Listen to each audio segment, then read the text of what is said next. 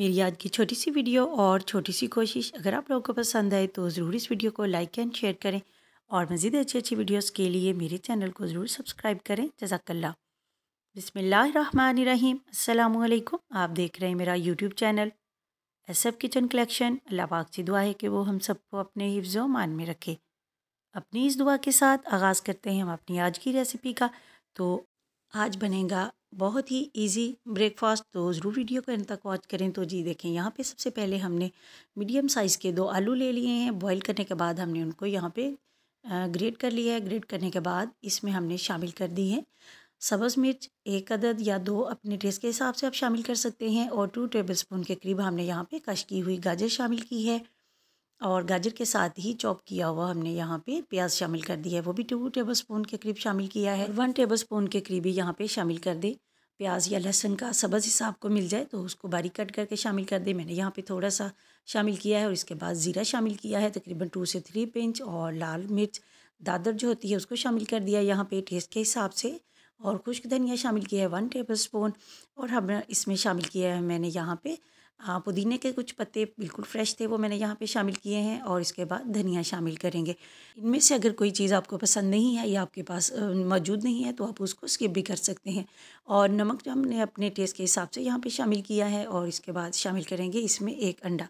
तो जितना मैंने यहाँ पे आटा लेना है, उसके हिसाब से यहाँ पर एक अंडा काफ़ी है तो आप जितना मिक्सचर बनाए, उसके हिसाब से आप ज़्यादा चीज़ों की मकदार को कर सकते हैं तो जी यहाँ पे देखिए नॉर्मल चाय वाला कप जो है वो यहाँ पे एक मैंने भर के आटे का शामिल कर दिया है छान कर इस रेसिपी को बनाने के लिए आप लोग मैदे का भी इस्तेमाल कर सकते हैं या सिर्फ़ आटे का इस्तेमाल कर सकते हैं, या आप आटा या मैदा दोनों को मिलाकर भी इस रेसिपी को बना सकते हैं।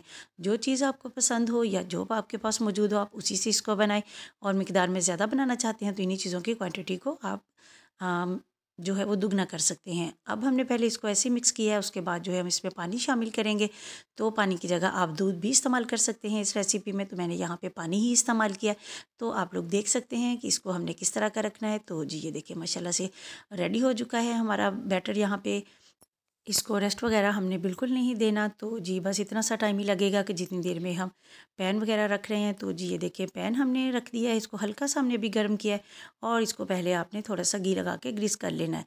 तो इसके बाद आप एक कोई भी डीप थोड़ा जो चम्मच होता है, उसको भर के आप यहाँ पे डाल दें पैन में और देखिए पैन जो है वो ज़्यादा गर्म नहीं होना चाहिए। अगर ज़्यादा गर्म होगा तो इस बैटर को हमें जो है इस तरह से फैलाने में थोड़ी मुश्किल होगी, बल्कि वो फैलेगा नहीं, फ़ौरन से पकना शुरू हो जाएगा।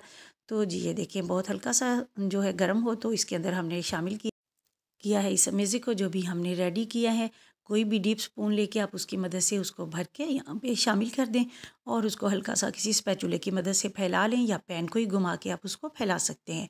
तो एक साइड से रेडी हो जाए तो फिर हम इसकी साइड पलटेंगे। तो पलटना बहुत ही आसान है, बिल्कुल भी नहीं टूट रहा, देखा है आप लोगों ने।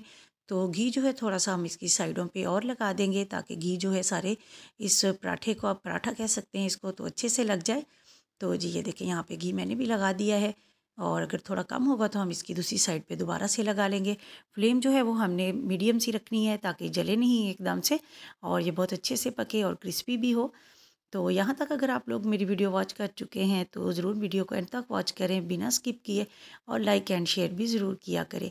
तो जी, ये देखें आप इसको पराठे की तरह हाथ से भी घुमा सकते हैं तो हम चेक कर लेते हैं, अगर इसकी दूसरी साइड थोड़ी पक गई है या थोड़ी कमी है तो हम इसको एक से थोड़ी देर जो है वो हम और पका लेंगे तो फिर इसकी साइड पलटेंगे, बिल्कुल भी मुश्किल नहीं है इसको पलटना।